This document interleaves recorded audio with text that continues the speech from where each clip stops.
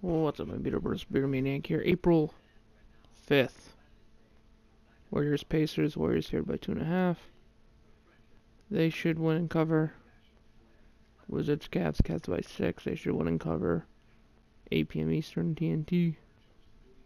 Trailblazers Rockets. Rockets favored by ten and a half. They should win and cover. Nets Bucks. Bucks by nine. They should win and cover. Clippers Jazz, Jazz by seven and a half.